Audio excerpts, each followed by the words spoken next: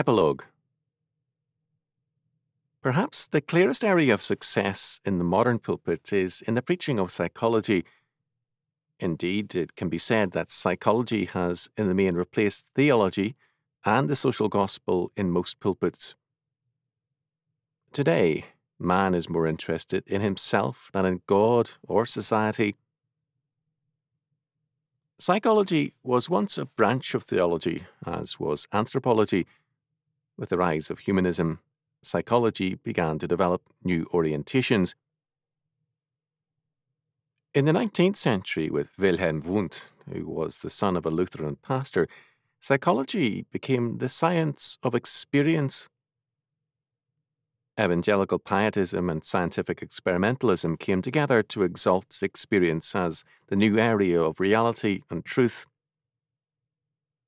The exaltation of experience meant that life now meant experience in its truest, fullest sense. The meaning of life was sought in experience, not in God's inscriptured word. Experience became the new means of revelation.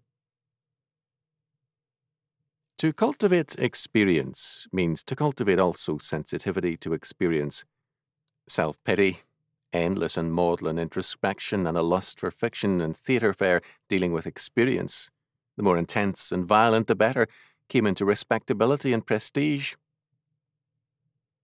A reviewer of a particularly immoral film, strongly larded with sex and violence, praised it highly by calling it an intense theatre experience. Every bar today has a generous helping of drinkers who are sensitive souls. Whores have a humanistic dignity as persons of experience and purveyors thereof, and their clients are also sensitive souls who go to them for therapeutic purposes, we are told. It should be clear by now that this study regards psychology as a theological, not a scientific or a humanistic concern. Moreover, the popular psychology of our time has no rightful place in the Church, in that it is implicitly anti theological and man centered rather than God centered. For pastors, to borrow from contemporary humanistic psychologies means to introduce an alien doctrine of salvation to their congregations. Sigmund Freud sought self consciously to undermine religion by substituting the psychiatrist, psychoanalyst, or psychologist for the pastor and priest. Implicit or explicit in any and all psychologies is a doctrine of salvation which is radically at odds with biblical faith. If the Bible is right, mental health is a product of justification, of the atonement effected by Jesus Christ, applied and developed in the life of man. This means sanctification and the rule of faith is clearly the law. Man cannot find mental health apart from faith and obedience. To assume that mental health is possible on any other grounds is to deny that the fall of man was occasioned by sin.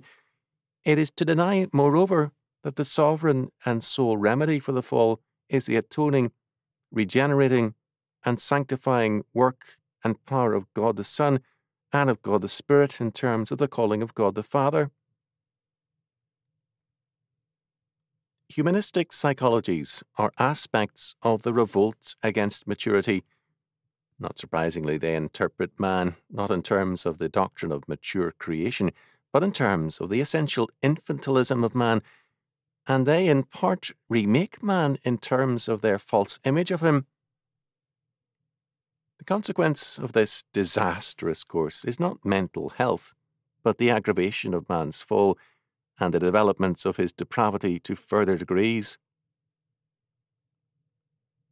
A Christian psychology must thus be theological and systematically biblical, or else it will be a facet of man's revolt against maturity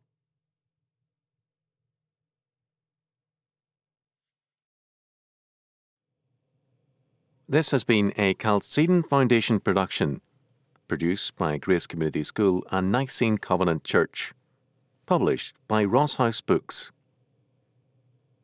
Copyright 1977 1987, Mark R. Rushdoony. If you enjoyed this audiobook, be sure to visit chalcedon.edu for more books and audiobooks by R.J. Rushdoony.